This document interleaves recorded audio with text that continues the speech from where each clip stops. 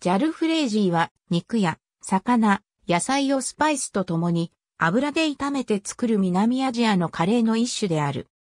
食材に青唐辛子が含まれていることからもわかる通り、ジャルフレージーは比較的辛い部類の料理に属する。このため、ジャルフレージーを食べるときにクリームを混ぜることで辛さを抑えて食べる人もいる。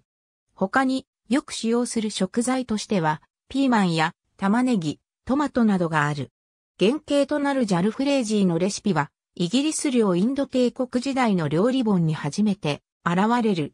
そのレシピでは、ジャルフレージーは残り物のご飯を使い切るため、唐辛子と玉ねぎを入れて残飯を炒める方法をとっていた。料理名の英語の綴りは、交互ベンガル語のジャルファーイージーに由来しており、ジャルは、ベンガル語で辛い食べ物を意味する。また、ウルドゥー語、ペルシア語で、ジャルフレージーを表すパーヘッツィは、食事可能であることを意味する2011年の調査では、ジャルフレージーは、イギリスのインド料理店で、最も人気のある料理となっている。ありがとうございます。